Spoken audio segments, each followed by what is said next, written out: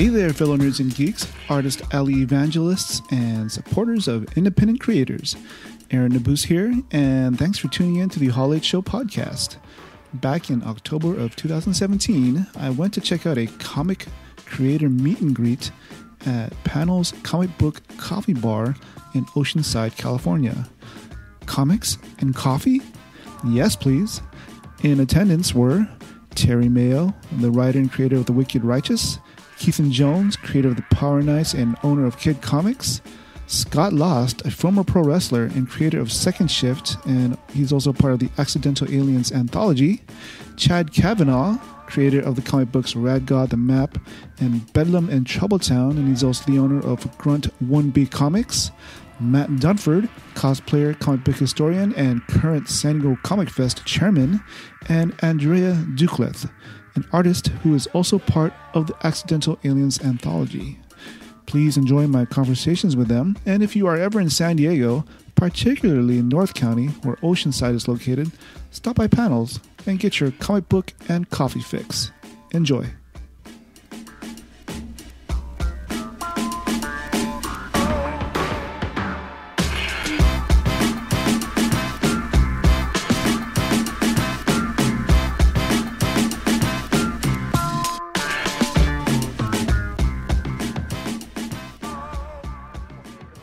Everybody, Aaron here from the Hall H Show, and uh, we are at uh, Panels uh, Comic Book Coffee Shop here in Oceanside, and um, we got a few artists here that are doing a meet and greet. Uh, we got uh, first up, it's uh, Terry Mayo. How you doing, Terry? I'm good. How are you doing? Um, why don't you tell us a little bit about yourself? Uh, let's see. Well, native of Texas, but been in San Diego for the last 20 some odd years. Uh, started off doing screenplays up in Hollywood, trying to get rich and famous, but didn't quite achieve that. So, so started doing comic books about uh, five years ago, web comics. Uh, then got my first one published by Alterna about half a year ago, and then the ball's been rolling since then.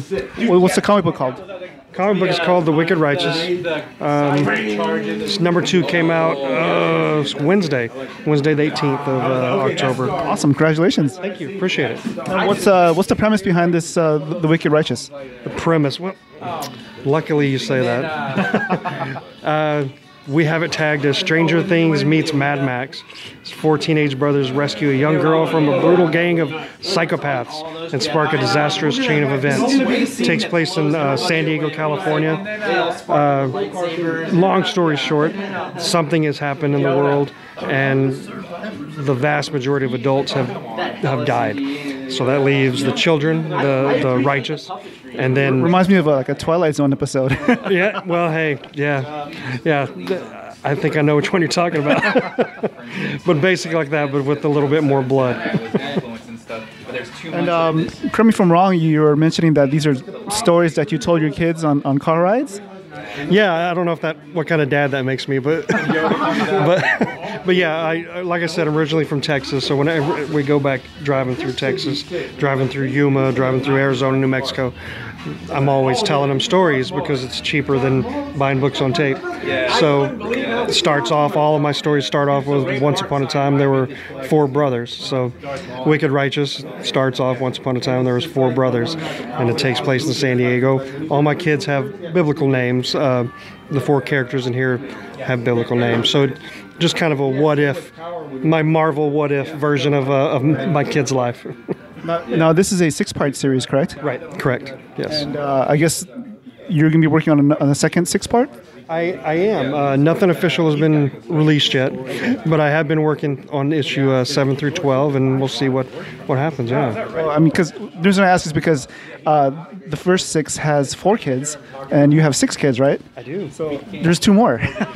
There, there, yeah, there's two more characters that need to be filled. so I'm always curious when I talk to other creatives and, and people who create their own comic books. Um, first of all, like, how were you when you were a kid? What, what, what was Terry like at 11? Ooh, I guess you'd have to ask one of my seven sisters, but I, I was a hellion. I uh, talked too much, didn't listen enough. but I, you know, I, and I have another book coming out called Disposable Legends, and it's it's kind of different uh, clones of, uh, of famous people put on TV to fight for enjoyment, that kind of thing. And it kind of always reminds me of me in my bedroom playing with my G.I. Joes, my Star Wars, my He Man, and just kind of putting them in a big battle royale. So that was me, an overactive imagination, just creating my own worlds. And that's kind of stayed with me, apparently. So, how did you find your, your way into comic books? Like, do you remember the first comic book that you read? I do, actually, yeah. The first comic book I read was uh, Marvel What If. And uh, I know it came out in the 70s, but I'm not sure which one it was. I think it was uh, What If uh, Wolverine had killed the Hulk, vice versa, maybe. But it was, I, I remember being familiar with the Marvel Universe through like older, my sister's older boyfriends whatnot, but I never really had jumped into it. So seeing this What If and seeing an actual character that I knew, like being killed, I was like, "Oh my god, this is this is amazing! You can do anything in comics." So I just, so yeah, and then it picked up from there. I always enjoyed Spider-Man, always enjoyed X-Men. I've make mine Marvel, that kind of thing. So, what other Marvel characters did you like growing up? Um, Gosh, I, I like I said, I've always been a big X Men fan. I, Gambit was always just that that ladies' man that, that I never could be, that kind of thing. And Spider Man, um, I've always rooted for the villain for some reason, so I'm big into Doctor Doom, Venom, Carnage. It, pretty, pretty much any Spider Man villain, I'm I'm all over. How do you think the Marvel movies have fared so far? Are you a big fan of them? I am. I'm a big fan of them. I've been following them. Um, I'm looking forward to Ragnarok. Looking forward to um, Black Panther. The trailer for Black Panther looks amazing. I, you know, there there hasn't been a Marvel movie that I've seen in the last couple years that I that I haven't been a fan of. Um, DC movies, not so much, but but the Marvel are great. So you mentioned uh, Gambit earlier. Do you think that Gambit movie will ever be made? Yeah, I, I, again, I'm torn about how Channing Tatum is going to pull that off, and I don't know. I, he's not convincing me, but I, I, he doesn't convince me. But hey, I'm, I'll be a fan of anything that they put out. I guess you weren't a fan of Jupiter Rising. Not so much. so, how did you find your way into actually creating your first comic book? Um, Well, like I said, I, I, I did screenplays for a little bit, sold some, but they always sat on a shelf. They never got turned into anything. So you go back to your family and you're like, yeah, I sold some screenplays, and then nothing ever gets produced. And they're like, okay, Terry, sure, sure, you're writing these screenplays. Um, so I, like I said, I, I've always been a comic book nerd. When my kids got old enough to start reading comic books, I was like, oh, this would be amazing. I could make something with them, kind of put it out. And there's Matt. so um, it was kind of more of a collaborative effort with me and my kids. They pushed me to do it when I didn't think that it would be something I could do. But yeah, so this is I, I give all the cra- the praise to, to my boys for pushing me. Um, we talked earlier before the interview, and you said that you work full time as a nurse. Um, and I had to ask you, how do you find the time between working full time as a nurse, uh, raising six kids, and uh, creating comic books?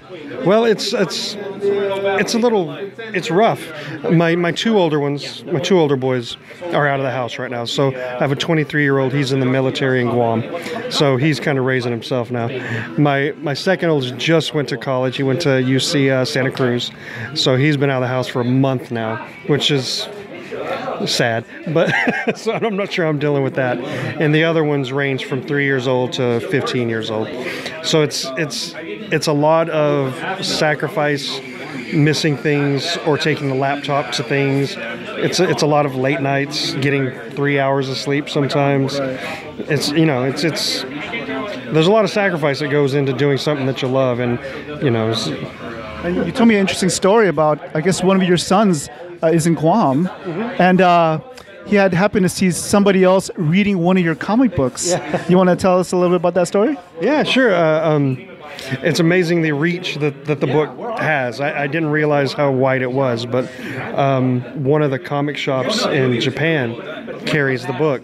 And apparently, he saw the person reading it in a co- in a coffee shop, took a picture, sent it to me. So it was just it was it was surreal. It was a surreal moment. What other countries is your comic book in? I know it's in the UK, Ireland, Japan, Africa, uh, the Netherlands, um, Canada, and everywhere in America except for Alaska for some reason. It's not. In Ala- I don't know why. I don't know why it's not in Alaska, but it's not there.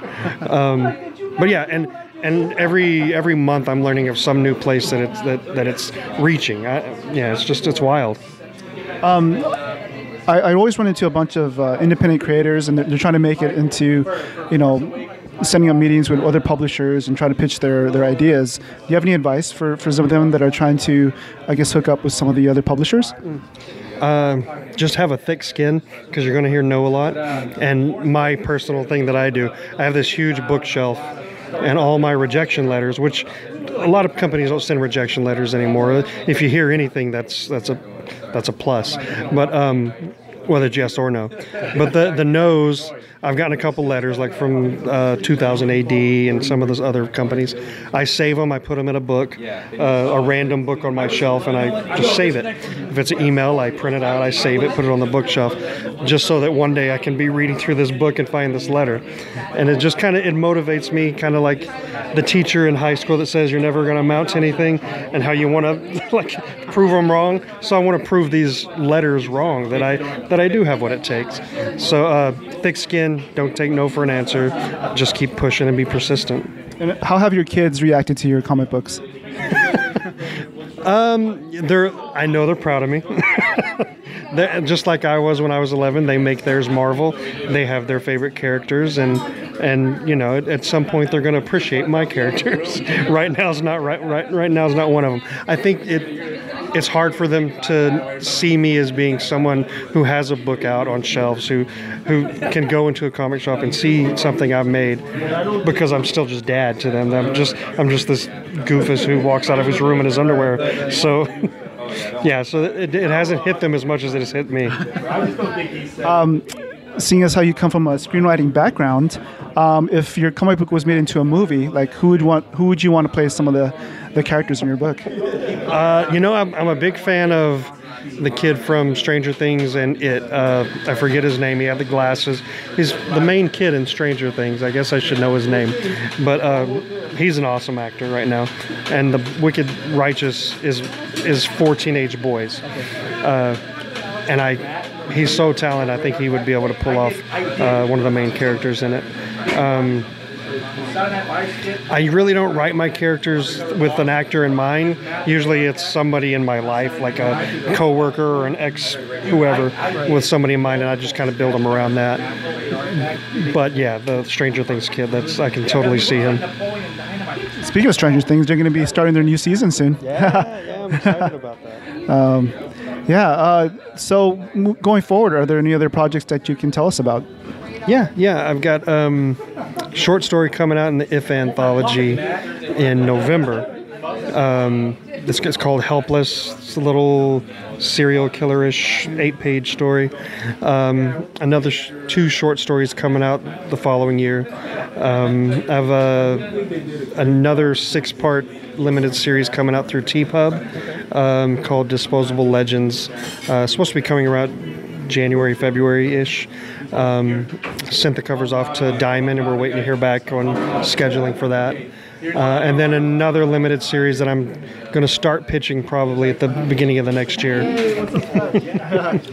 um, yeah, and that's what I have so far, and anything else is just not ready to announce, I guess. Yeah. I, I guess when you're ready to announce, uh, why don't you reach out to us and we'll, we'll get it on the podcast. Oh, definitely, man. Anytime. Yeah, I would love to. Um, where can people find you online? Um, all of my stuff, whether it's Facebook, Twitter, Instagram, is all at MayoTL. So just type in M A Y O T L or Terry Mayo, and I should pop up. Well, thank you for your time, Terry. Thank you. It was great. It's great meeting you. Yeah, great All right.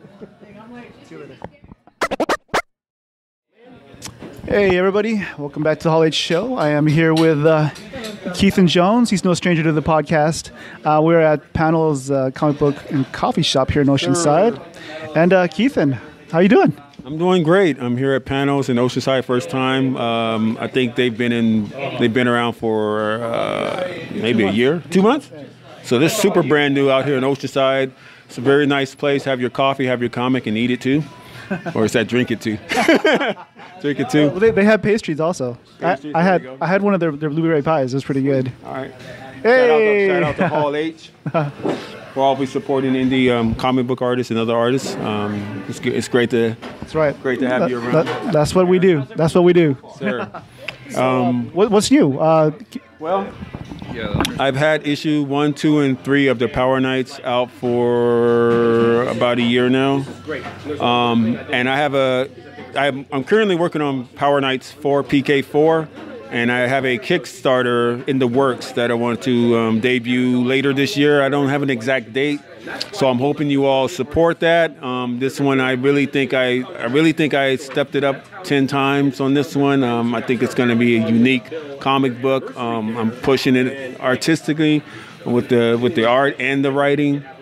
Um, so if you're a fan of the series, uh, a lot of things will be, a lot of the the story will be revealed and resolved. Um, the series itself goes to five, and then after that, I'll have a trade paperback. But uh, right now, I'm working on four, and I and I'm really excited about it because I think it's going to be probably the best one of the whole series. And uh, like I said, there'll be Kickstarter attached to that, so I'm really hoping and counting on you guys to support that. And for those of you who don't know who Keithan Jones is, uh, he's been on the podcast a couple of times, and he's uh, owner of uh, Kid Comics, is a publishing company, and the and the writer creator of the Power Knights. It's a story that has been in his head since he was 11 years old. so it's an awesome book. So uh, if you guys are out there Yeah, listening to the podcast, go go check it out. Um, so you were recently at another con um, called MECCAcon. MECCAcon in You, want- you, want, you want to talk about that one a little bit? Yeah, my second time in Detroit for MECCAcon, which is headed by Ma- Maia Crown Williams. Uh, you can find her on Facebook, either under her name, Maya Crown, or uh, MECCAcon. Just look it up, it'll pop up. Um, they're based in Detroit. Uh, we did it at the downtown Detroit Library, and that went, went really well. Uh, it's primarily African American comic book artists, uh, but it's open to all. Um, but it's a it's it's a great venue to give people or artists who otherwise don't have have limited resources as far as um, displaying their work. Uh, so that went really well. We had a good turnout. Um, at least I did. I know I did. and I'm just I'm just continuing the journey of, of, of my, my personal journey of becoming a successful comic book um, artist, writer, and um, entrepreneur as far as publishing goes. So so far so good. Um, I don't. I really don't have much else. I don't really have anything negative to say other than um, there's times where it's challenging. Obviously, uh, this is not a. It's not an easy profession to stay in because some days you feel like no one's paying attention, but then you have days where it's like the world's open up to you and, you, and you're you're getting a lot of positive responses and it just propels you to continue on. So. I- that's So how, how do you stay positive outside of you know your how, how do you how are you able to, to stick to the daily grind of, of creating something? First of all, I love it. I think that's really the real reason I've stuck around so long. Um, secondly, through the response of readers, you know, if I I've been doing it for three years now, a little over three years, so I would I would have stopped a long time ago if I didn't have any type of response. Like if I sat here and no one showed up and no one ever bought my books, then obviously I'd be in a different headspace, you know, be contemplating my life. Uh, but fortunately for me, uh, it seems to be trending in the right direction.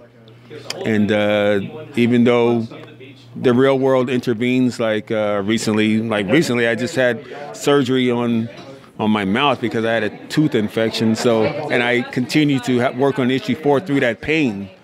But I'm not one to post that on social media. Like I'm when I'm going through stuff like physical pain, or I'm sick, or a family member passes away, or you know, financial issues and stuff of that nature. And we, we all go through it. But I try not to burden people with those stories and just keep it positive and keep them focused on the art and the book because that's what I'm doing it for. Like I want, I know everyone has their daily grind and they need some type of escape, and I want to provide that that escape for them through my, through my art. Speaking of stories, let's go back to the Power Knights. Um, the first few issues dealt with uh, introduction of the brothers, and then now you got uh, the the big bad in there in the mix. Um, what's gonna? Are there any things you could tease us with for uh, issue issue four? Issue, issue four is actually is um, right now it's called uh, the Power Knights Four Formation. because this is when, without giving away spoilers, this is when they really coalesce into a unified. They have a unified purpose. They come together basically as a team. Um, on the surface, the Power Knights look like you know superheroes, but I think it's more of a science fiction story that you know, because since they come from other worlds, you, you know, you think they're wearing costume, but they're really wearing that natural garb. So it's not technic. To me, it's not technically a superhero story. It's just it's just science fiction.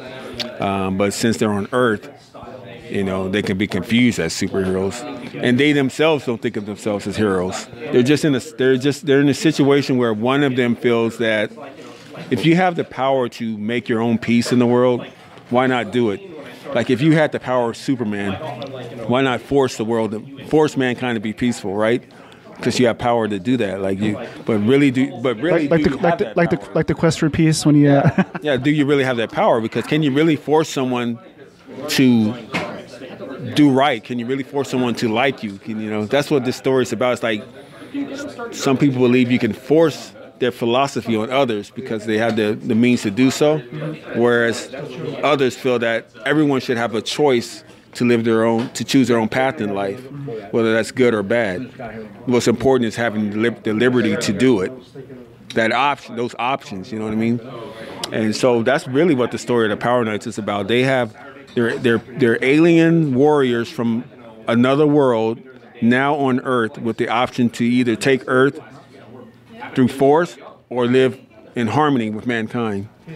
And that's where the conflict begins. And this this two boys, these two humans, this boy, this the two brothers, the young brother and the older brother, by circumstance and by accident get caught up in this mix and their relationship is turned upside down because of it. So they're questioning their love their, the love between the two brothers is, is tested also. Because now they're um how do I say they're they're in, their natural life, their normal life is is altered and, and, and enhanced by having this encounter with these aliens. You know what I mean? Because they were having problems before that happened, and now and now add this into the mix, so it, it, it amplifies everything. Plus, their fathers passed through through cancer. They lost their father through cancer, so the older brother was was burdened with the with being the being the father to his younger brother, but he gets scarred in the process of meeting these aliens. So he's kind of spinned off into his own personal rage, um, and dealing with this newfound power, but at the same time not necessarily knowing what to do with it. especially with with with Candle being the youngest one, and he he lose, he's sort of lost his older brother, his father figure for for a little bit there. Right, and that's Can- Candle being the youngest one. This is Hi, how are you? This is Candle. And uh, matter of fact, they should see this scene here. This is where everything changes. If you can see that. His older brother find um, his older brother warns him of what he saw, and that basically changes their entire world. Without giving you guys spoilers. So the younger brother, the two brothers lost their father, but now the younger brother has lost his old. He hasn't lost his older brother, but his older brother's life has been changed to the point where it's like he could lose him.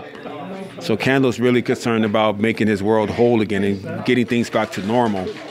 Whereas the older brother is like, I have power now myself through this accident or through this attack on me. And what am I going to do with this power, you know? So it's like, I'm trying not to give you guys spoilers. So if it sounds a little convoluted, I'm sorry. It's just, just try to avoid ruining the story for you. But, um, but basically, that's what's going on. Yeah. Have you watched the the recent Voltron? Oh, yeah, I love it. Uh, Princess Allura al- almost reminds me of uh, Princess Raxi. Oh yeah, yeah, yeah. That's right. Um, that's true. Yeah, because Princess Raxi in my story, my princess has her father basically set everything into motion through his actions, and um, basically he is. Uh, I don't want to know. I, I could say he's he's power hungry, but at the same time, his power hunger comes from a paranoia of of just wanting to like control his own destiny and he had the knights brought together just to do under under a mind control to do just that to conquer worlds for me you know and so the princess that's being her father, she's conflicted because she didn't, you know, she didn't share those thoughts, but that is her father. And now she's tasked with the burden of kind of like Luke Skywalker, like finding out that Darth Vader is his father. It's like, dang, Yoda wants me to take care of him, but at the same time, that's my dad, you know? So. No! Spoiler! That's not true. Yeah, it's true, bro. So, um, so what's what's next for for Keithan? What what other projects are you working on besides Power Knights? Oh, good question. Um, what am I? What else am I working on? Um, Are you still teaching that class at Platt? Uh, not currently. So not until they get another class, another set of students for me. So You were. Uh, it, was about comic book creation. Uh, did okay. it for eight weeks. My first time being a, uh, a pro- college professor. You want to maybe uh, tell us about that experience a little bit? Um, sure. Um, it was interesting. It was really fun. Um, at first, it was um, nerve wracking. I never did it, so I wasn't sure what to expect out of myself or the class. um, but about the third day, I got into the groove of it. Started to feel a little more natural for me. Um, and we covered the gamut from the technical side of making comics to the history of comics, from uh, from the days of um, the creation of Superman to Jack Kirby to Will Eisner. We touched on those things lightly because I felt like the students should have some type of real comic book history foundation. So they, so if you don't have a foundation, it's hard to move the move the genre forward or the art form forward because you're just regurgitating what's already there. But if you have a foundation, then you can take it from there and move on and take those elements to the next natural evolution, you know, of the art. Um, if that makes any sense. Um, but I had a good time. The students, at least the feedback was like they really enjoyed it. They learned a lot. Um, and I'm, I'm pleased to do it again if they ask me to. That's it's always good, sort of connecting with, with the next generation of, of creators. Sure. Yeah. For Sure. Um, So, speaking of, of the future, uh, what's next for Keithan? Keithan, who's being interviewed now, Ooh. I have stories floating around in my head. Some of the stuff I've jotted down at home. I have concepts and things floating around. Not really ready to speak on it because they're still fragmented. Uh, but it probably won't be superhero traditional based stuff. It'll probably be a little more on the wild side, a little, little more funky. Um, but the Power Knights, that's a childhood dream of mine. That's a childhood thing I created, and it's something I just needed to get out of my system. And I thought it, especially starting kid, being a, I'm, I'm my own publisher, and I wanted the Power Knights to be the first book under the banner to come out because there's a pers- I have a personal connection to it, and um, and I just I generally think it's a great story. I I really like the characters. I think people, if they really sat down and read the book, they're gonna they'll get into it and they'll see what I see. And um, yeah, that's all. You know. And as far as the future goes, I just want to take the company. I just want to be uh, a, a uh, be right there alongside Marvel and DC and, and Image. You know. Uh, we addressed this in a past podcast, but why is it important, or why was it important to you to start your own publishing company? to greenlight my own projects, to greenlight my own vision, because not everyone can see. Not nec- not everyone's going to see what you see. You know, some people may think that what you think is a good idea. Um, there might be ten other people who think it's a bad idea. And if those ten other people, if one of those other people has the power to kill your idea, behind you had been up here. then that you know that sucks. You know, so why not just give myself the power to greenlight my own project? You know, if I believe it in enough, why not? You know. Plus, it allows me when I get to a financial situation where I can start um, hiring other artists to and to produce books under the banner. That's the ultimate goal because I don't envision myself doing this forever. I want to sit back and let uh, the younger generation have a shot that they wouldn't necessarily get at a Marvel or DC or even Image. You want to talk about the other books that are under the uh, the Kid Comics umbrella? Oh yeah, He's the, the, fine arts teacher. His, his class would get together with the writing class every year to create a comic book. see here. Um, so I, I went in and spoke to their class. So there's currently there's three other creators under Kid. Um, Chris Ward, who helps co-write the Power Knights, he created a character called Vegas Baby. This is an adult comic. Um, he has a Kickstarter coming out later this year also. Um, there's Dragonfly by William Tenner, Michael William Tenner. He's up to issue four. Uh, if you go to the kids site, if you go to the kids site, you'll see all of these books available for sale currently, like right now. Um, there's Dragonfly. He's like it's like a alien espionage spy story. Um, a lot of if you're into like conspiracy theories about aliens and Area 51 and all that stuff, this is your book. Uh, then there's my book, of course, The Power Knights. That's Princess Roxy right there. And then there's Purge. Purge is Roosevelt Pitt's book. Um, Purge actually was a very popular book back in the, back in the early '90s. He sold like over a million copies, and so he's reintroducing the character to the modern audience. And he's currently has issue one out. He's working on issue two, and uh, that's about it. Like if you want further details, just go to kid-comics.com. You can read the synopsis. You can look at some of the character artwork and some of the actual pages from the book. Um, you can also buy from. Yeah, you can buy the book from there. The important part. Yeah, for sure. And uh, I think the prices are reasonable. We include the shipping costs. I think.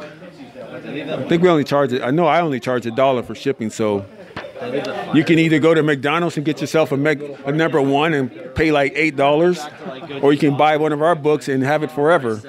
Right? That's right. Uh, so, um, where can people find you on social media? I'm on Twitter. I am KJ Kidcom or Kidcom KJ on Twitter. I am on uh, face, Kid Comics Online, Facebook, Kid Comics Online.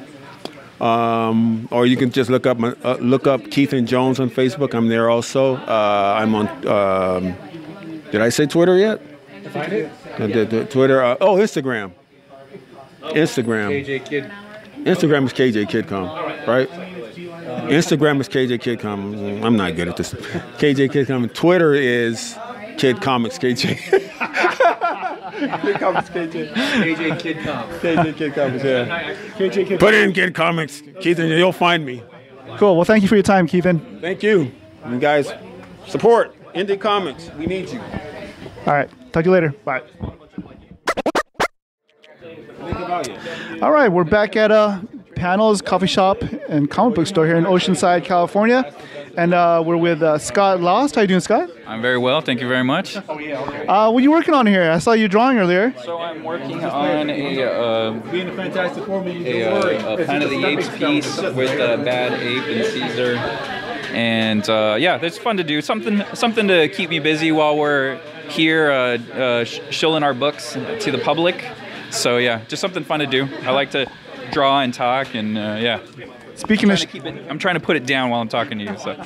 Speaking of shilling books, uh, why don't you tell us about your book, Second Shift? So we have a couple of books here. So the second shift is a story about minimum wage superheroes, people with normal nine to fives like you and I would have, as opposed to uh, a Clark Kent or a Peter Parker who have amazing jobs. Uh, not not a large amount of the public can have jobs like that.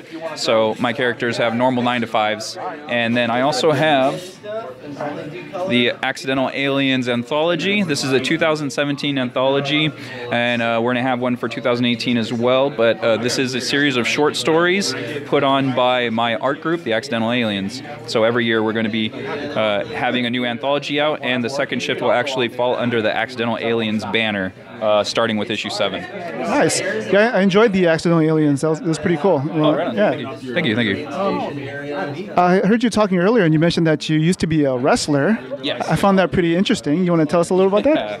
Yeah, so I was a pro wrestler on the independent scene for 10 years. Uh, me and my writer, actually, uh, we were both wrestlers. I actually co-founded uh, Pro Wrestling Guerrilla. I was one of the original, uh, one of the, this PWG six is what they called us. So I was uh, one of the founders for that, and I've wrestled in uh, Southern California, on the East Coast, pretty much all around the world, uh, Japan, uh, Europe. So uh, yeah, that was fun. It was a good time. So, how did you find your way into comic books? I mean, were you always into comic books uh, as a kid? Yeah, yeah, yeah, definitely. I I actually trained myself when I was a kid to draw comic books. It's it was what I wanted to do with my life, my entire life, except for uh, my late teens. I started like wrestling was really popular in the late '90s, and uh, so I but I had been watching it since I was a kid, and so I started training to be a pro wrestler, and then I wrestled for 10 years. So I put actually put my comic book aspirations on hold. So um, uh, yeah, but you know, I at the tail end of my wrestling career, I was getting back into comics and wanting to draw comics, and so it was an easy transition to get away from pro wrestling and to go back to go back into comic books. What was your signature move as a wrestler? I had a bunch. Um, I I created a lot. Like much, I'm a creative person. I like creating things. So I used to create uh, wrestling moves. But my finisher back in the day was uh, a big fat kill, which was a it's like a spinning hook kick to the face, and uh, so it's like a, you know, it's not not quite the super kick, but it's it's a spinning hook kick. So that was, and uh, another one was the Superman spear. That was something I was known for, which is uh, like I would basically jump and fly from the middle of the ring into the corner where my opponent was, like into their midsection. Is, is there a YouTube video that we can watch? yeah, yeah. If you type in Scott Lost Pro Wrestling, a ton of stuff will pop up. Um, there's uh, fans have made tons of videos of me, so there's there's a lot. I guess we can uh, shift back to your comic book. Um, Second shift Second. Sh- yeah, yeah, I was, I was trying to, I was trying to work it in there. Yeah, it was it was there. You were almost there. You were there. how did you come up with the idea for it? Um, okay, so I created these characters when I was in seventh grade. So when I was younger, initially they weren't they weren't what they are now. So as as the years have gone gone on, as as I've grown and matured, so have they. They've changed. Like they're you know they're in their uh, early twenties.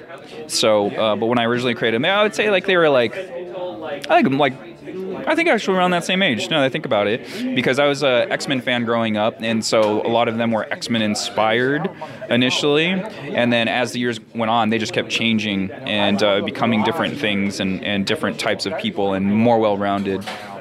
So uh, uh, yeah, so I've, I've had them forever, and as like I said, as I've grown, they've grown. And uh, the main character, his jobs usually fall on what whatever my job was. Like uh, the main character works at Fish World, which is uh, my first job was SeaWorld. So that's so his, um, so that's him right there, and it's very reminiscent of the the colors and the uh, uniforms back then.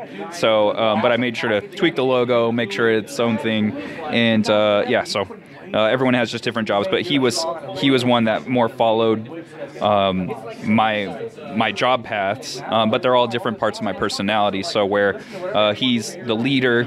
Um, he's this guy um, eddie he works at a comic book store. You don't make tons of money working at a comic book store but he loves it. Um, sometimes he gets paid in comic books. Um, sarah is his older sister. So he's he's kind of my youth and uh, you know uh, and she's she's she's very strict because she's the older sister of eddie. They're both filipino. I'm filipino. And um, uh, anne here is a college Mabuhay. and uh, Anne here is a college student, and she doesn't have a job. So um, that's kind of like she's she's my intellect. So they're just different parts of my personality, um, and it's makes for easy writing. So um, even though I have a writer, uh, uh, we talk a lot, and he knows he knows exactly who they are as as people. And uh, anytime something's off, it's easy for me to identify because it's like well, that part of my personality would never do something like that. But then there's parts of it that's like, okay, like we have to kind of steer away from that a little bit to make them more individual and, and you know, seem like one person. Yeah. It seems like a lot of creators that I've been talking to recently, um, they talk about their collaborations with you know other people and how they found like their creative team. Yeah. How did you find like your your collaborators? Oh, my writer is a wrestler. So yeah, so we we liked a lot of the same things. Uh, we would see each other at shows all the time, and uh, we talk about comics, Bruce Lee, shoes, basketball, and so we had all this stuff in common. And, and he would always send me scripts of his his comics. He was like, "Hey, I want you to read this." And uh, he always wanted me to draw his books, and I'm, a lot of his stuff revolved around war and stuff like that, and, and that's not really my jam. So I was just like, hey man, why don't you try writing my story?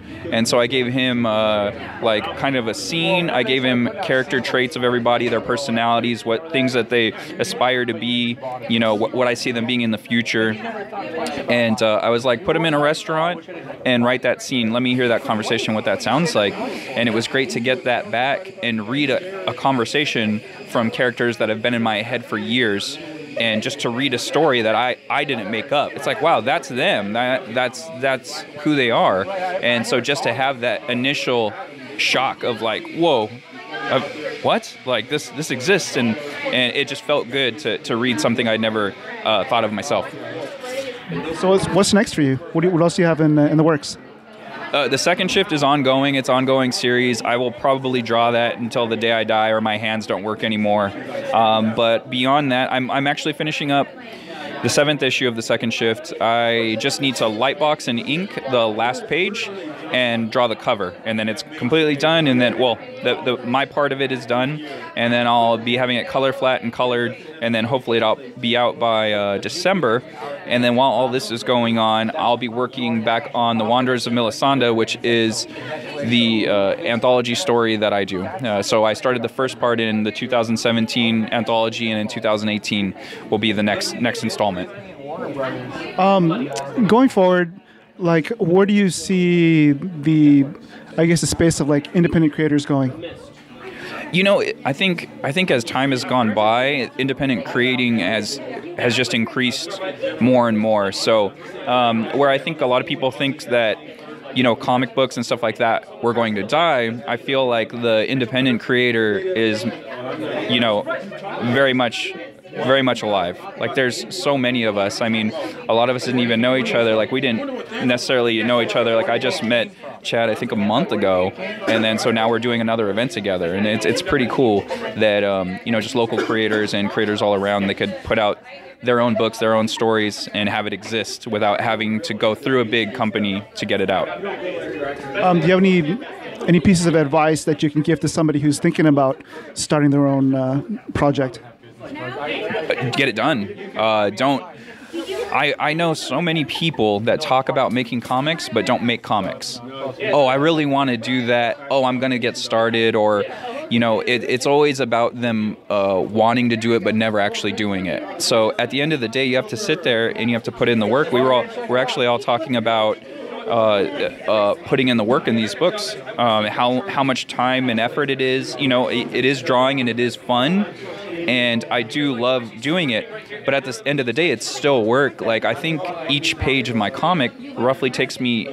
Well, lately it's been like eight to 14 hours, so it could be a long period of time, and and most of us as independent creators have have uh, jobs. So like my character is the second shift. The drawing comics is my second shift. I have two full time jobs. I have I have my normal nine to five job and I have the second shift. And in all honesty, I probably put more time into the second shift than I do my, my day job. So yeah.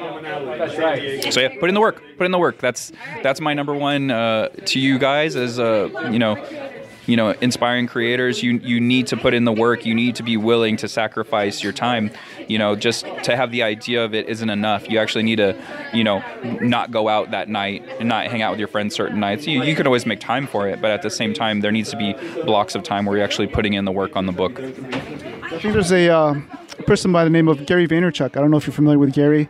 He has a a, a, a saying that he that he says. He says uh, eat crap for like a year and eat caviar for the rest of your life or something like that. So all right. All right. That's uh that's interesting. Um, I guess I guess that's something along the lines like uh, teach a man to fish, right? I guess that's the same concept as opposed to you giving someone something and then uh, you know instant gratification. You teach them how to do it, and then they can do it for the rest of their lives. I don't know, maybe, maybe something like that. yeah, it definitely has to deal with with uh, putting in the work and like you said, you know, deciding not to go out at night, you know, cl- clubbing, but actually honing your craft and, and putting in the work to get better. Yeah, absolutely.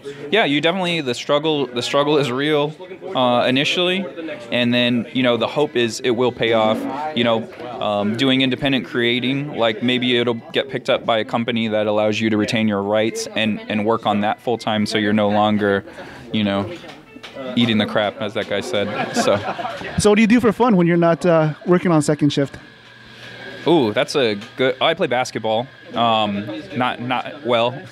well enough, but that's what I do. Like I love I love basketball and I love comics and those kind of those are my things. That's that's what takes up all my time. So even when I'm not working on my book necessarily, I am drawing. Like I love drawing. Like I'm working on Planet of the Apes right now just because it's it's something to do. It's fun.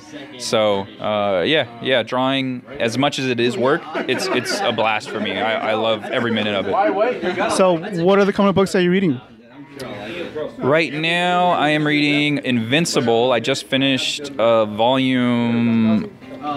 Was it the latest hardcover, the latest Ultimate Edition? That's That's the one I just finished. I can't remember. I think it's 13, maybe 13. So um, I love Ryan Ottley's work. Uh, the way he destroys people's faces is amazing. like, like just the way he breaks pages down as well. His storytelling is really strong, and I love it. Um, trying to think else. What else? Saga, of course. Saga is a constant. Uh, East of West and uh, Black Science. I, I read a lot of Rick Remender. I love Rick Remender. He's he's probably my like between him and Robert Kirkman. Those are my two favorite writers, um, just for different types types of stories. I think Black Science is something that I I have, but I haven't had a chance to to, to read yet. Oh yeah, get it, get into Black Science and uh, Deadly Class. Deadly Class is fantastic. There's there's a part where you feel like I don't know where this is going because it gets like there's like a little lull and then out of nowhere it gets insane. You're like oh my god, uh, like this, this book's so good. So yeah, if, if you have a chance, check out Deadly Class and uh, uh, Black Science. Those are real strong, real strong. Thanks for sharing those uh, comic books. Uh, where can people find you online? You can go to accidentalaliens.com. You will find, well, right now we're under construction, but soon we will have uh, our shop up so you can pick up the Accidental Alien, Alien books uh, as well as the second shift. And um, the other book is Unstoppable Cherub by Travis Rivas. So he has issue one. This is issue zero, which I did the cover for. It is a flip book for uh, issue six of the second shift. So check out that site, uh, accidentalaliens.com, and you can pick up all of the Accidental Alien books there. Cool. Well, thanks for your time, Scott. It was good uh, hanging out with you again. Yes, of course. And uh, I guess once you have any future projects, just let us know and we'll get you on the podcast. All right, we are at uh, Panels Comic Book and Coffee Shop here in Oceanside, California, for a little uh, artist meet and greet.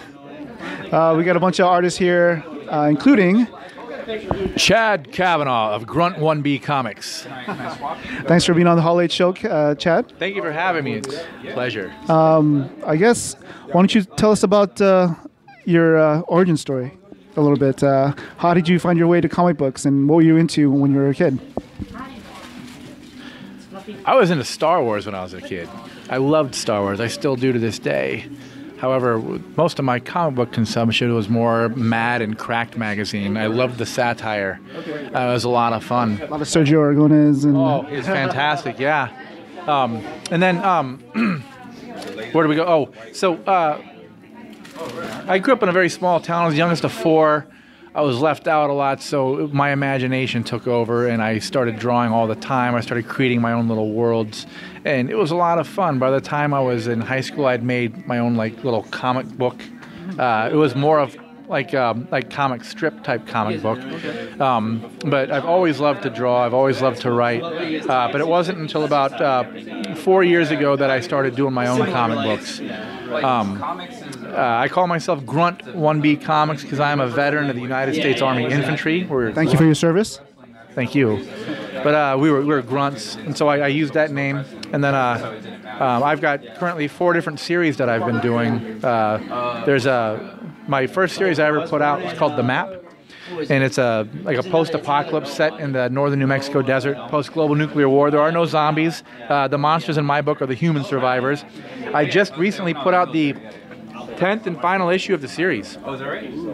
And uh, It's real pretty. It's I'll be getting the second volume of it out. So volume one contains issues one through five. Volume two will be uh, six through ten to round out the series. I also just completed another series, the Viking era series called Radgod, and this is the complete book here. Just put it out yesterday. Um, Radgod was a book that I came up with a couple years ago. A guy who was my army roommate. We were both sentinels at the Tomb of the Unknown Soldier in Arlington National Cemetery together. He passed away on the 1st of September in 2015, and he was just a giant Viking of a man. So uh, I wanted to create something to kind of honor him and, and tribute. And originally, it was just a design I wanted to make that all of uh, our, a lot of our other army brothers wanted to do as a tattoo. And when I created it, I was like, oh, I should create a book out of this. So I decided to make a four part series.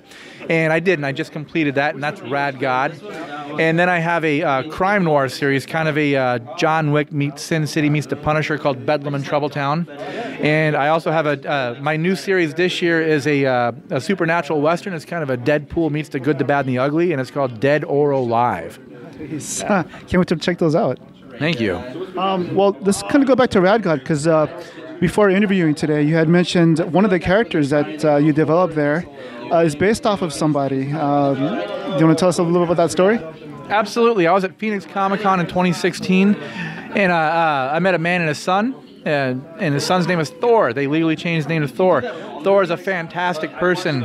Um, and I did a sketch cover of him as Thor on a Thor sketch cover. And um, after the convention ended, I became friends with uh, him and his father. And uh, I speak to him on the phone about once a month. and one day his dad's talking to me, and uh, he's like, "Yeah, Thor really wants to be a comic book hero." And, and I said, "You know, uh, I think I have something. I, I have a way to integrate him into uh, the Radgod series, and so that's how we created the character Half Thor, um, somewhat inspired by my friend Thor. And uh, it was great to introduce a character into the comic book universe who is uh, a member of the Down syndrome community. So he's half Thor, and this is him here. If you can see this, this mighty little warrior right there with the huge hammer. That is the character half Thor, and uh, he shows up in he, he shows up in issue two and continues on through the end of the story. Somebody else may have said it, but Um, How, what you said you were a musician uh, uh, prior to our interview. Um, can you sort of elaborate on the transition between a musician to becoming a comic book creator, and why did you do it in the first place? Why was I a musician in the first place? Why, why did you Why did you make the transition from uh, becoming a musician to a comic book creator? Uh, I had a lot of fun doing music. I was a singer songwriter. I still have two albums on iTunes under the name Chad Cavanaugh. Um, but with music, for a while, uh, you're very popular and people like you, and then at some point, people just stop liking you, and you have to kind of take an objective look at what you're doing. And uh, being a married man with three daughters at home who were all very young at the time, I was uh, going out, you know, three to five nights a week to still try to pursue music, and it just wasn't really happening anymore. And I was leaving my wife alone with these uh, these girls, um, and it just it wasn't good for uh, wasn't good for our relationship or for our family because the family should be together, especially at night. And so I I decided, you know what, I'm not going to do music anymore. It was fun, I enjoyed it, but uh, my family's more important to me. And so I stopped doing music and uh, started making comic books. And making comic books, I don't go anywhere to do it. I stay at home. Pardon me. And so that was my transition. I put out my first book. Uh, it was The Map Number One. Came out in April of 2014. Um, and since then, I've put out uh, 23 self-published uh, books. That's incredible. I have I have uh, aspirations to create my own comic book sometime in the near future. So that's that's that's pretty good. Uh, I'm, I'm, I'm inspired by your story. Oh, thank you very much. yeah, you know, um, uh, the reason I'm, I'm able to make comic books today is uh, because my wife goes to work every day. You know, and uh, so I'm fortunate that that she she's a good provider. You know, so it allows me the opportunity to be at home, take care of the kids, handle all the stuff at the house, and make comic books. Uh, you know, instead of sitting around watching DVDs all day, I decided, hey, I'm going to make something as well. I'm going to build my own comic book universe, and uh, I'm fortunate that I have the ability to do that. It seems like people who are creative, whether it be music or art, it seems like they are they have the potential to be creative in other other ways as well. So, uh, like I'm a graphic designer by trade, but I'm I'm, I'm finding that I'm I'm getting better at, at writing. So interesting enough. Well, that, that'll be a good mix. You know, if the, the more you like what you're writing, you can do the design for it too. So that, that allows you to keep everything in house. I had a lot of fun being a singer songwriter. I viewed songs as miniature movies. Uh, like, how do you capture somebody within three to four minutes, you know, and keep them and uh, give them uh, just a story that just they can really wrap themselves around. And with comic books, I like having a story arc over a period of issues, but I also like trying the challenge of writing a single issue that within that issue you kind of have something that's that's presented and somewhat of a, rela- a resolution towards the end, but not enough. You know, there's still a cliffhanger, you know, and carry that on to the next one. That's that's kind of a fun challenge as well. So um, I don't know, maybe the two correlate, but uh, I agree and I enjoy it. I also started writing a novel. Um, it's not a graphic novel at all. Uh, like I said before, I've got three daughters. I love having uh, good female characters, strong female characters in my books. And so the uh, the novel that I started writing is kind of a Harry Potter meets 007 meets Indiana Jones, but the lead character is a 15 year old girl. So it's it's been a lot of fun. Um, I'm pretty deep into it, but uh, I, I'm really enjoying writing that as well. It's kind of a, a, a nice uh, departure from comics. With comic books, um, every panel is valuable real estate, so there's only so many words you can put on there. You really have to show everything uh, with your artwork. And with writing a novel, man, you can just use all the words you want and really get uh, descriptive with everything, and it's a lot of fun. And uh, how long have you been thinking about that novel? Like uh, the, the, the initial ideas and and when do you think it'll it'll come out? The idea of the novel hit uh, hit me. My wife and I were uh, we had visited uh, Harry Potter World and Universal, and an idea that I shared with her came to me. I'm like, what if this was really what was going on in Harry Potter, kind of thing, like an alternate universe theory of sorts, and that spawned the idea for the book. It's morphed from there, um, but I just started writing it outright. That everybody has their own process. Mine is I get an idea and I just start making it. Um, and so I'm about 21 chapters into the book so far. As far as the time frame, I, I really have no time frame for it to be out. I want to get uh, the initial draft done and then add, subtract whatever I need to to make it the best possible product. You, you mentioned you mentioned process um, for our audience out there who are thinking about making their own comic books. Do you think you can maybe briefly tell us about your process when you're creating a comic book? Yeah, sure. You know, like I tell people all the time, and I've spoken at universities and high schools and with different groups. If you want to make a comic book, go make a comic book. Don't wait for permission. Don't wait for someone to sit around and be like, okay, now you can do it. Get an idea, and you can go about any way of, of going about making the comic book is your process is okay. There's not a, I don't think there's a wrong way to do it.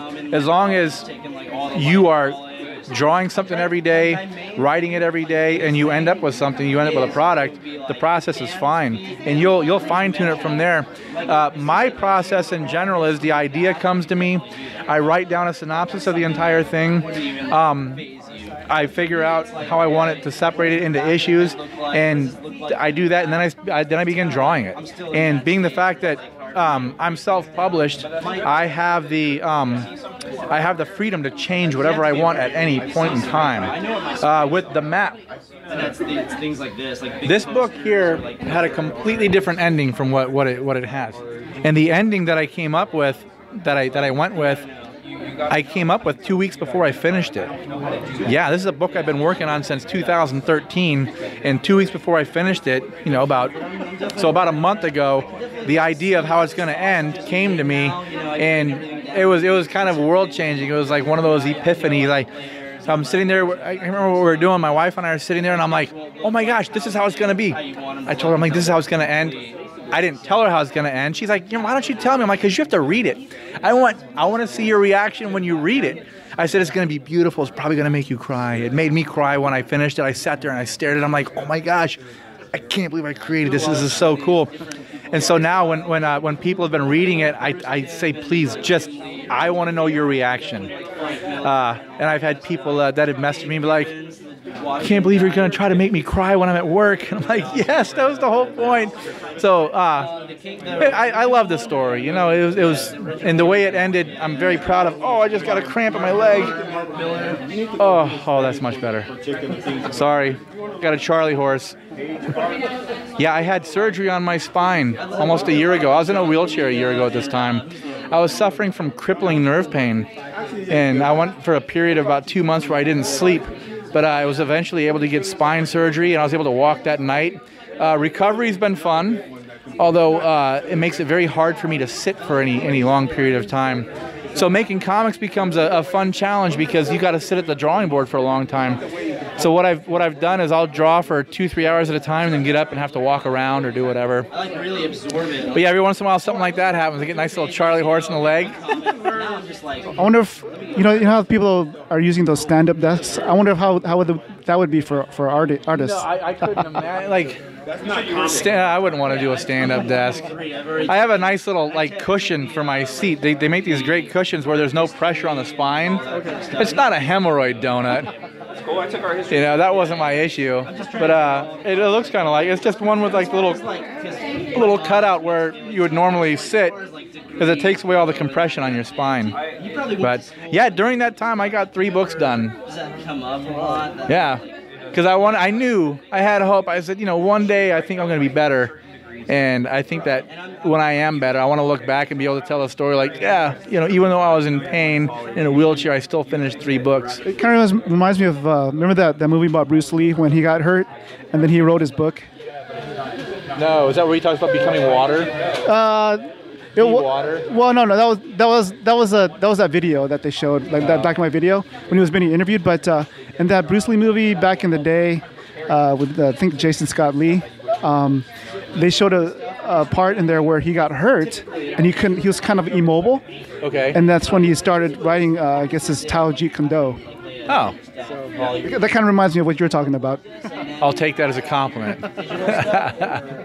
So, um, I asked Keithan this earlier, and um, you you sort of touched on it, but um, seeing as how you're a, a independent self-publisher, um, would you ever want to go work for one of the big twos or Image or any other publishers? Do you want to stay self, uh, self as a self-publisher? No, there, there's there's pros and cons for everything.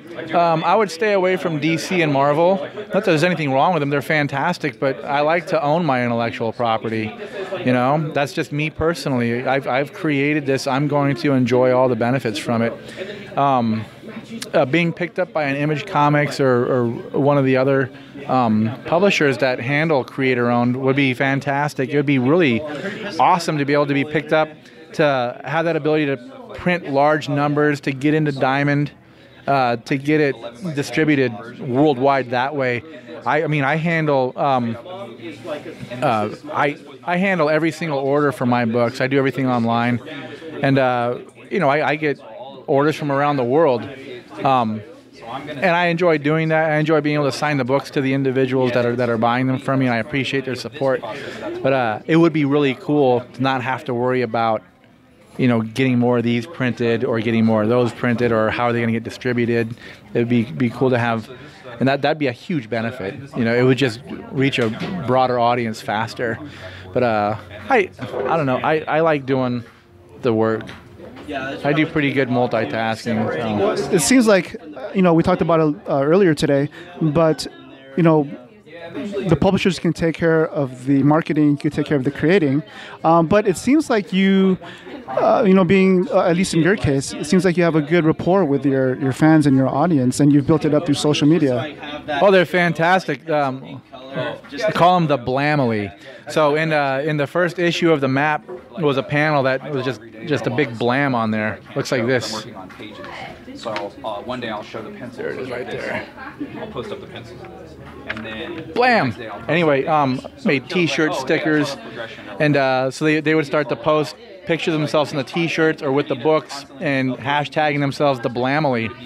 And it's cool because I mean that's four continents now, and it's all through social media. It's never been with the help of any professional marketing company at all.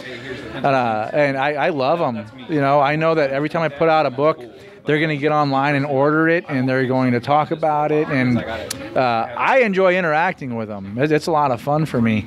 Um, that's why it's fun for me to be able to get out of where I do all my work and get out to places like like Panels Coffee and Comic Bar here in uh, Oceanside, or when I go to SoCal Comics down in San Diego, which will be there again on November 11th for a huge event, um, or doing the conventions like Comic Fest, or going out to Las Cruces or El Paso or Phoenix, and it's fun to meet new people. It's fun to see existing people that I've been communicating with online, and uh, I.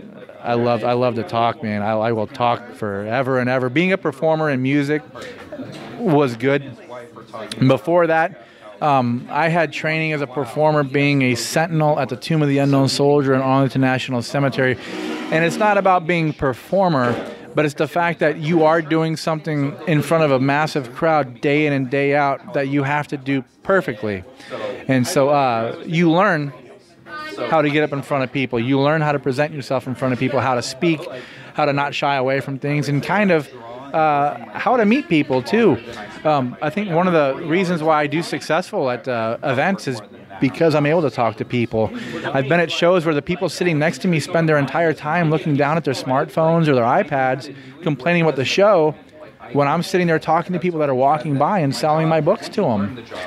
You know, I think you were telling me about how, I guess uh, you were at a convention one time and you made eye contact with somebody. Oh yeah, they were across the way at an artist alley, and nobody was even acknowledging them. And I was standing up, looking at them, waiting for them. When they looked over at me, I waved and said hi. They made a beeline over to my table and bought every one of my books, specifically because I said hi to them. He's like, "Yeah, you said hi to us." Like, cool. Sometimes it's all it takes. Sometimes there's a little more work involved, but it's fun. I get to talk about the stories I've created. Uh, get to bring people into the Grunt 1B Comics universe. You know, so it's a lot of fun. Speaking of uh, that universe, where can where can people find that universe? I do a lot on Instagram and Facebook, Grunt1B Comics. Um, also, you can find my books at grunt1bcomics.etsy.com or at any of the local shows that I that I attend. Well, thank you for your time, Chad. Oh, thank you, Aaron. yeah, it, man. we look forward to uh, talking with you again. Awesome, me too. All right. Thank you. Cheers. Hey, what's up, everybody? Welcome to the Hall H Show. We are with the uh, incomparable Mr. Matt, Uncle Dunphy Dunford. Un- incomparable. I've been called a lot of things. I mean, incompetent, incredulous, uncredible. But uh, yeah, this is a new one. So yeah, I'm happy to hear it. So we are at the uh, panels uh, comic book and coffee shop here in Oceanside, California, for a little artist meet and greet. I just interviewed uh, the four artists, and uh, I saw Matt at the, at the, out of the corner of my eye, and I said, I got to get him on, on this podcast too. So uh, how you do? How you doing? I'm doing okay, but it's like, I mean, it's so unusual for me to show up at a comic event. I mean, it's like, I mean, me going to an event with comic books, I mean, that's just like completely unheard of. I mean, why would I do that? So I know how rare it is for me to appear at such events like this, but I guess I'm happy to be here. And you know what? Panels here in Oceanside is a wonderful place, and I came here about a month ago after uh, an event that I was uh, putting up called uh, Poke Oasis, which was a you know fandom for Pokemon events and whatnot. That's put on by Video Game Connection and the folks at Nerdbot. And I decided, you know what? It's been a long day. Let me uh, test the new guys. And I came here and I absolutely loved it. It really resonated with me because you've been hearing about all these like comic and coffee shops. They've got one in Arizona, they got one in New York, but it's like we don't have one yet in the in the San Diego area. The closest one I could think of was, you know, there's one in the San Francisco area because every time I go to the Bay Area, it's like I literally will spend my vacation just comic shop, comic shop, comic shop, comic shop, comic shop, comic shop. But the fact that we finally have one that's you know within San Diego County now, I think is a great thing. And I came in, and the owner, uh, you know, Alvaro Santillo, like they're wonderful. And it's great what they're doing. And they're helping local creators. They're selling books to the big two. They're having community events here because every comic store should bring something different. And I don't play favorites with comic stores. I go to all of them. And I love just being part of them in any way I can. And so now with this store, here doing this with the comics and coffee, I think it's wonderful. What's your uh, favorite pastry? They also have pastries here. You know, they do have pastries here, and regrettably, I have to say that I have not tried them yet because I'm trying to stay away from carbs because fighting the dad bod, getting back in shape, fighting the dad bod so I can look like Rad God. Yeah. It's one of Chad Cavanaugh's ones if you haven't seen it yet. Well, if you ever decide to try one, the blueberry is pretty good. The blueberry I pie. I might try the blueberry. It's Yeah. like uh, one of the things. Sorry, flexing on camera for you. So what's uh what's new with you? I think the last time we had you on the show, it was our uh, San Diego Comic Con recap. Oh yeah, San Diego Comic Con recap. Have you, be-? Can you believe it's already been three months since Comic Con wrapped? Uh, but you know, we do have a lot of other things in the work. I have been going around to a lot of conventions. Uh, let's see. Earlier today, I was down at the TS uh, Toy Show, so I picked up some toys there and spoke with uh, Aaron Sparrow, the writer of the Darkwing Duck comic, who is you know a really cool guy, and learning the fact of like he actually also wrote the uh, Darkwing Duck comic for Boom Studios, but didn't get proper credit. But now publications of it have been changed, and he is getting proper credit on it. So it's making amends for things, and that was really cool to talk with him because I'm a huge Darkwing Duck fan.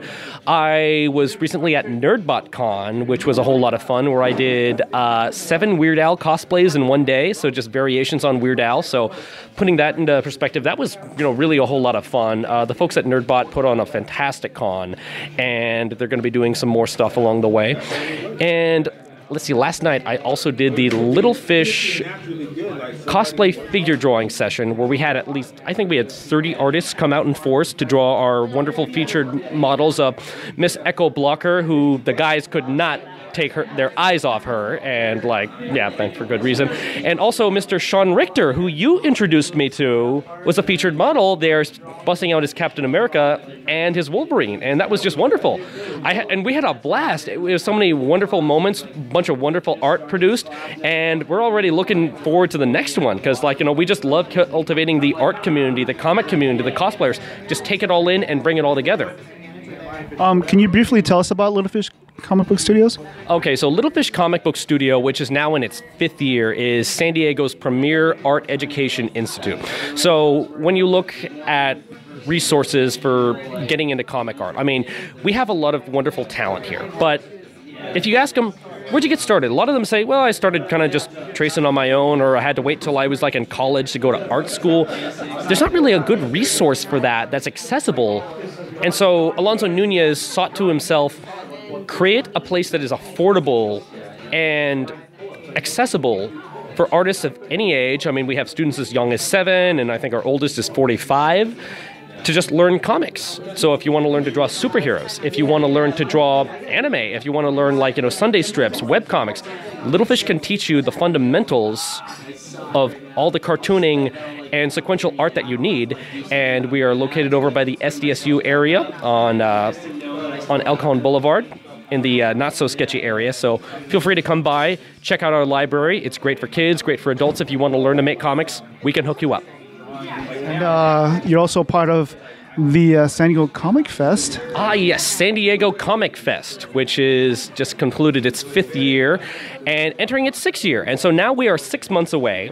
It will be happening from April 20th through the 22nd in 2018. So it's a nice little three day show and it's going to be a whole lot of fun.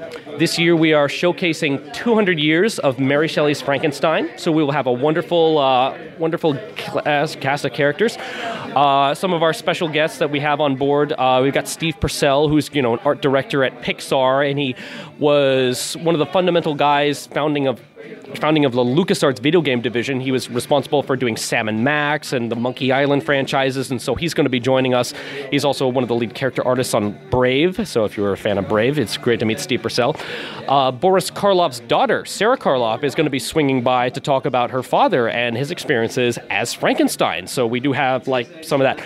And our special guest is going to be Miss Karen Berger, who was the former editor in chief of Vertigo, and you know helping to launched the British invasion of creators, bringing over guys like Neil Gaiman, Grant Morrison, Alan Moore, and helping fundamentally establish their careers while she was at DC Comics, and eventually you know, transitioning to you know, leading Vertigo in the early 1990s. So yeah, Comic Fest is going to be a whole lot of fun, and uh, stay tuned. We'll have a couple more announcements to make. We'll be expanding into other things besides the Frankenstein thing, but uh, yeah, we got a lot of good guests coming in, and we're just warming up.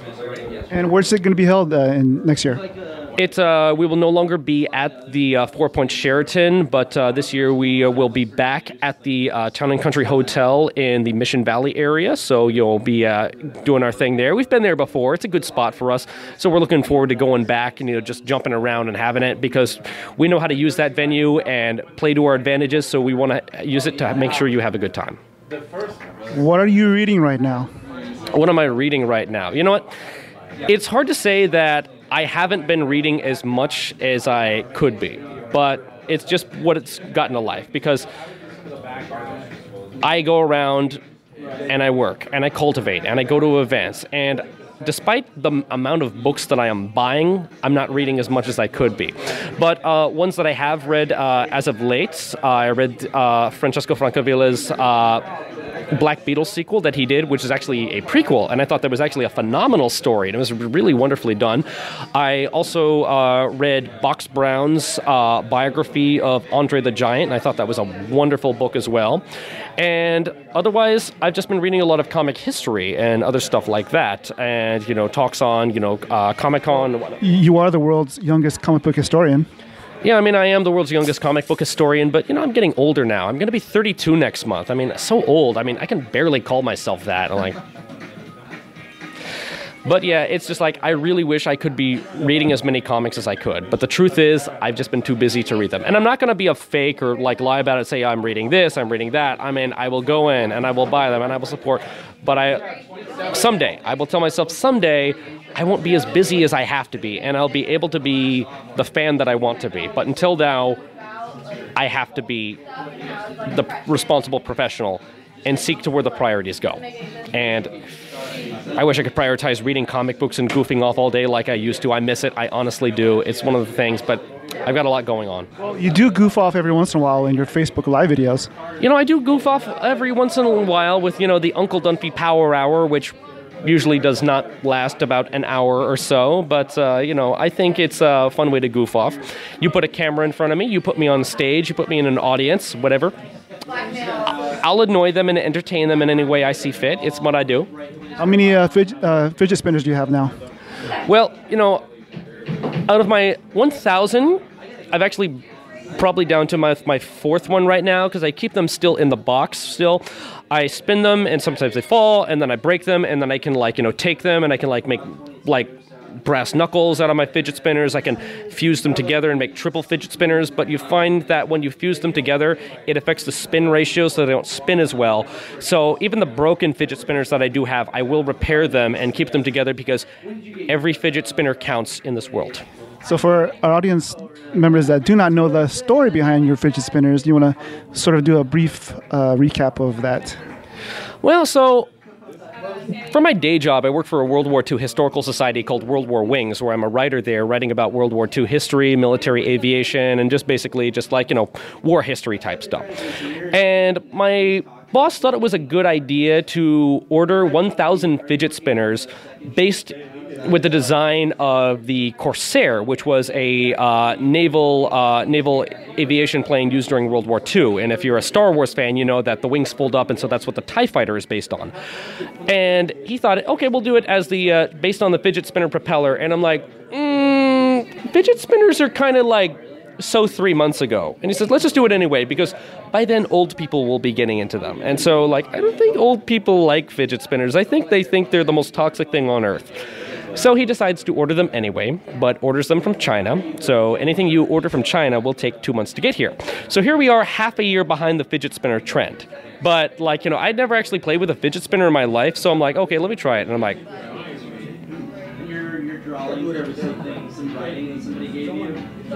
and I realized this is the greatest thing in the world because all they do is annoy people.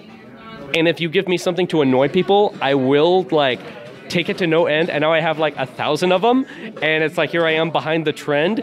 And like, I mean, the only thing more annoying than that would be like selfie sticks. I mean, who uses those? Who uses a selfie stick?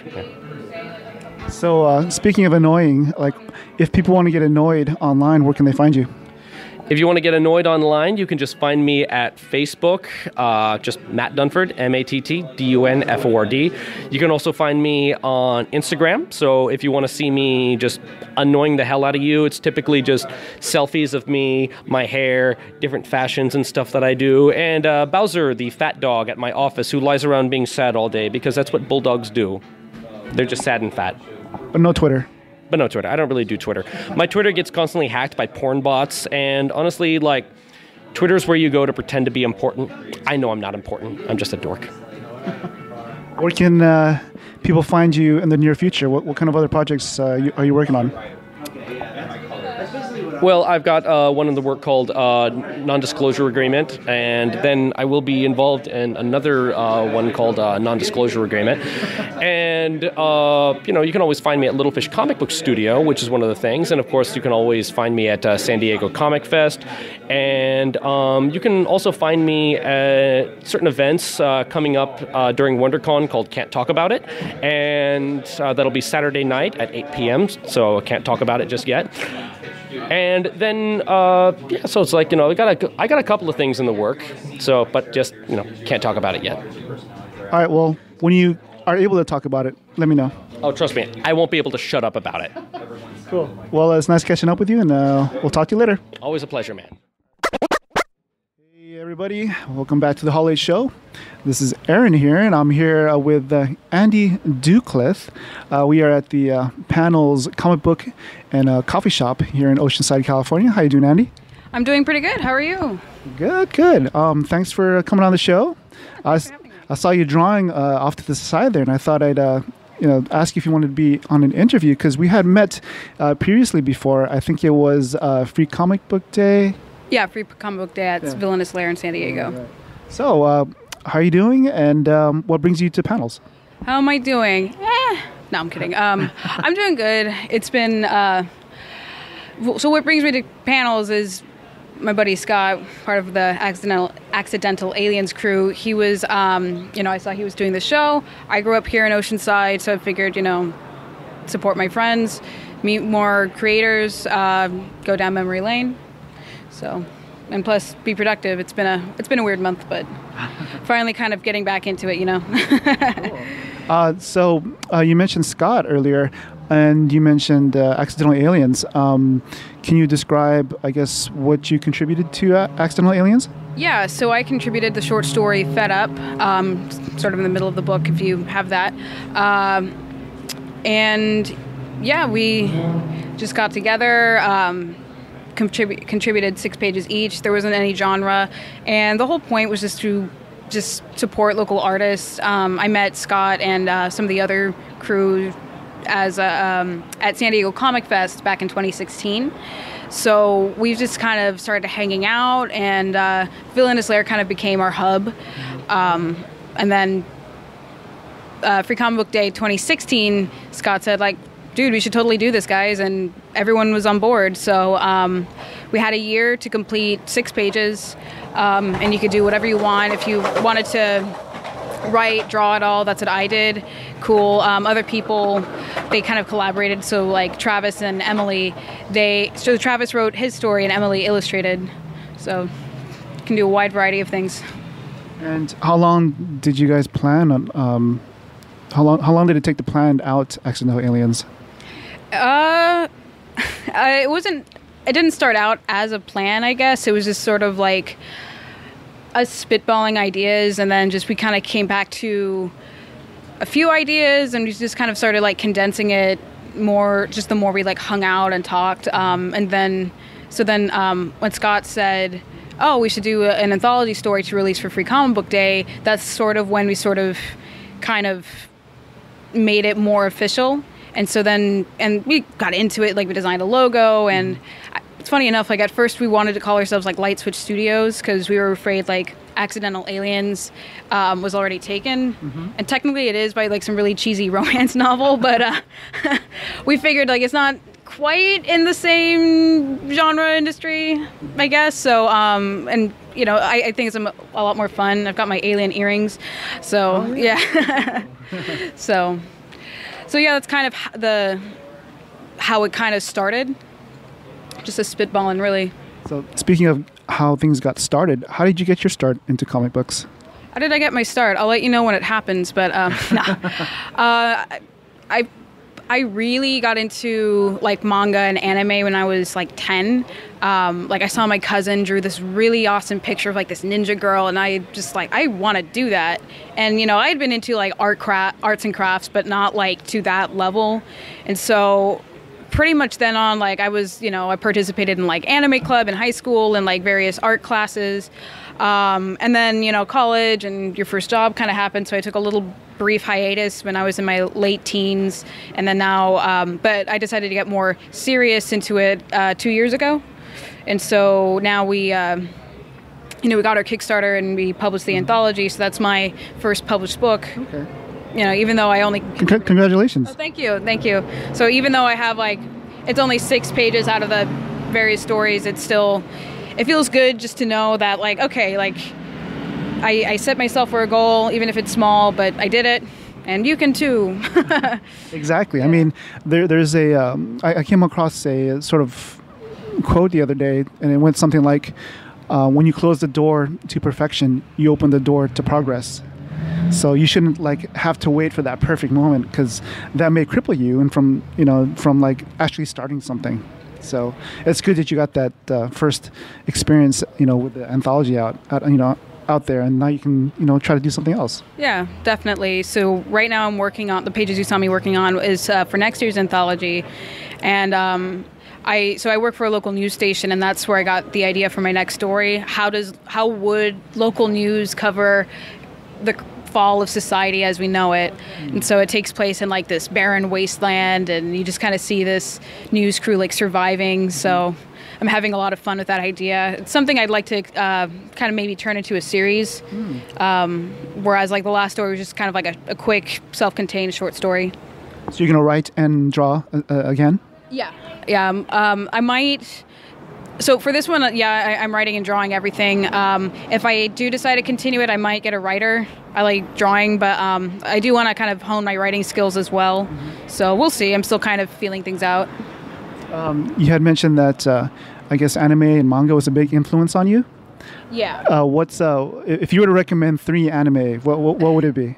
Um, I mean, these are like the more mainstream ones, like Naruto, Sailor Moon, Dragon Ball Z. But um, there there have been some like more obscure, well, obscure to mainstream er, to American audiences, I should say. Um, so I, I really love the book Uzumaki by Junji Ito, which is, and it's a very strange concept. It's about a village that's cursed by spiral themed just disasters or, or tragedies and it's very hard to explain because it's very very surreal but um, if you if you love horror and you love anything that's bizarre and weird i recommend junji ito.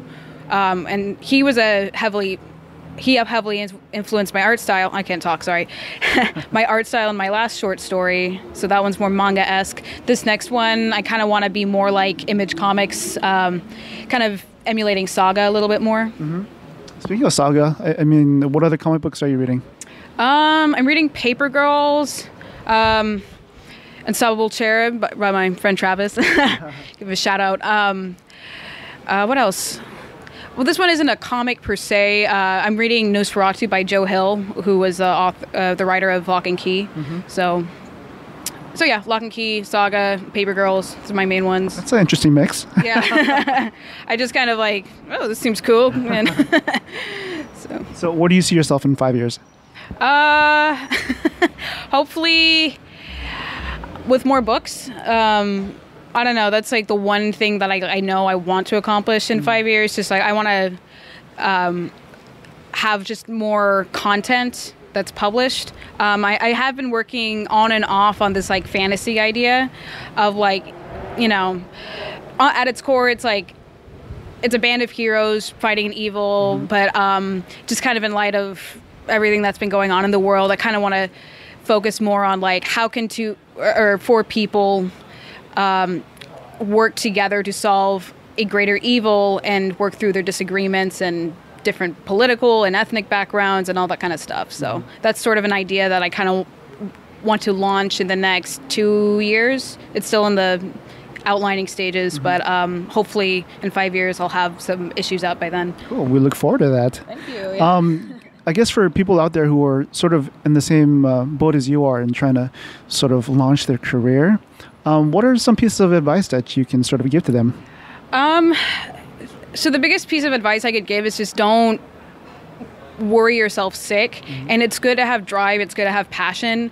But um, one of the mistakes that i made was i essentially just like paralyzed myself with worry like it's kind of like what you said earlier that that perfect moment that you're waiting for that's never going to come if you're waiting for that perfect moment then you're just going to be just constantly disappointed um, and so what's funny is like when I initially went to Comic Fest um, a little over a year ago, that was just sort of more on a whim. Um, like I had, it was like on Valentine's Day, and like I had a date fall through, and it was like, okay, fine, I'll go to Comic Fest. And so, but I met these guys, and uh, we've been hanging out ever since. So I mean, I never would have guessed that this was how I would kind of, sort of, almost get my foot in the door, at least at least in the independent scene I have. Um, but I'm here talking to you, and uh, we'll see how much farther I go.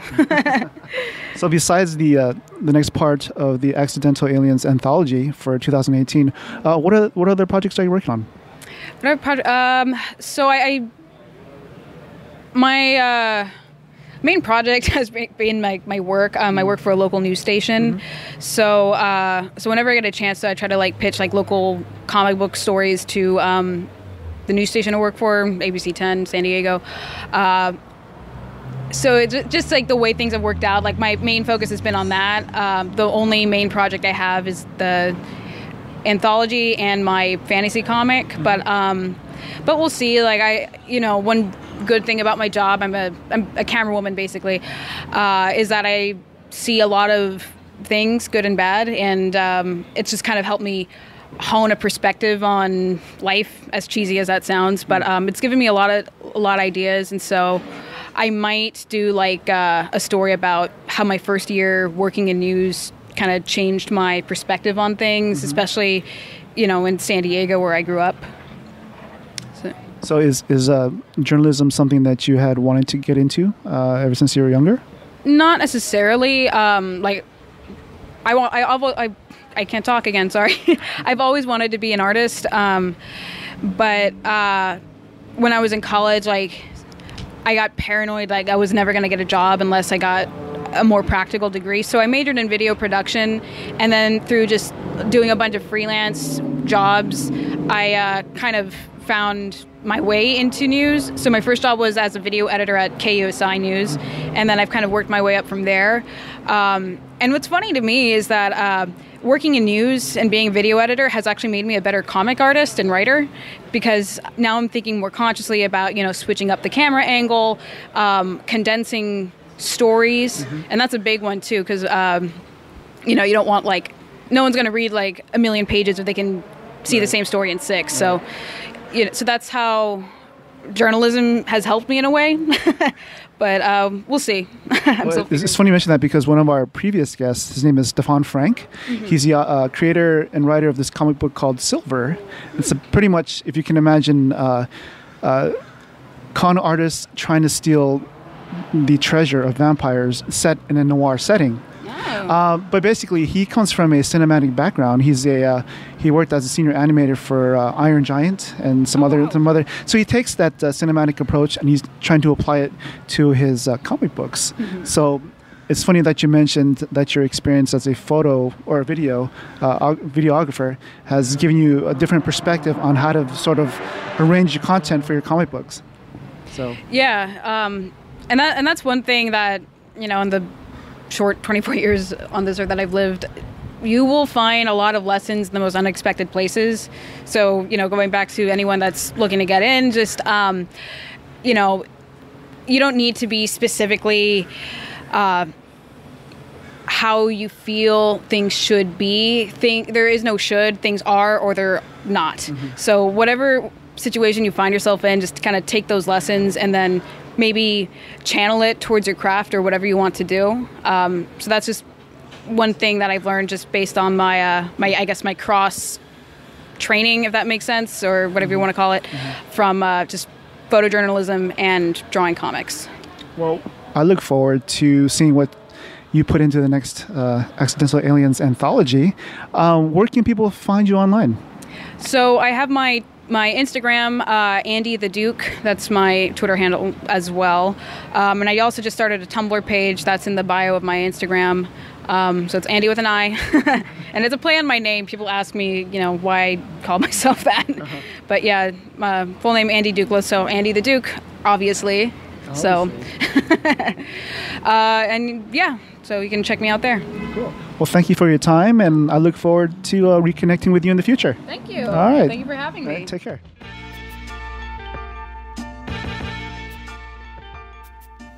Thanks again for listening to this episode, and please make sure to check out our guests online or, better yet, in person. Did you know? Aside from iTunes, Google Play, Stitcher, and TuneIn, The Hall H Show is also on Spotify. So there is no excuse to not be a subscriber to our show. In fact, do a Google search for The Voice of Independent Creators. Peace, cheers, and artists assemble.